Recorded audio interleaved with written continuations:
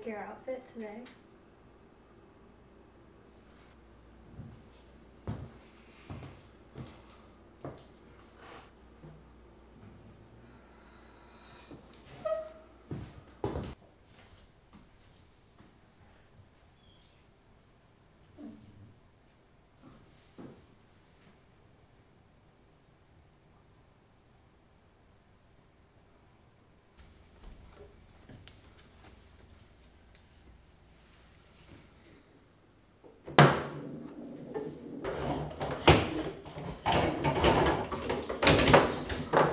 Those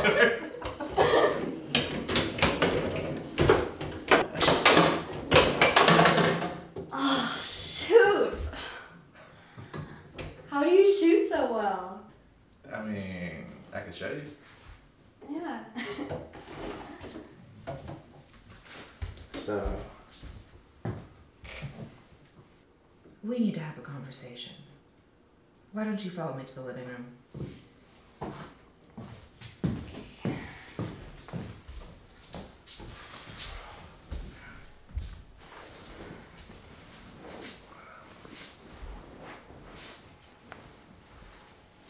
William, Lily.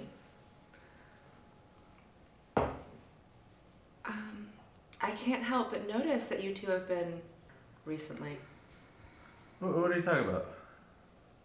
Your body language. And it makes me. There's nothing there. I've known you a long time. You were at my wedding to her father. You've always been a grown man, in her eyes at least. And Lily, I understand that you're you're young, you're getting ready to go to college. Maybe you do want to use your newly developed feminine wiles. But I just feel like Will is a family friend. He's a friend of your father's. And I don't know if this pairing is appropriate. There's nothing going on, so. There's nothing going on.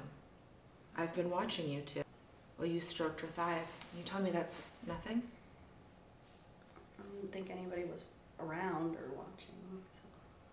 God is always watching.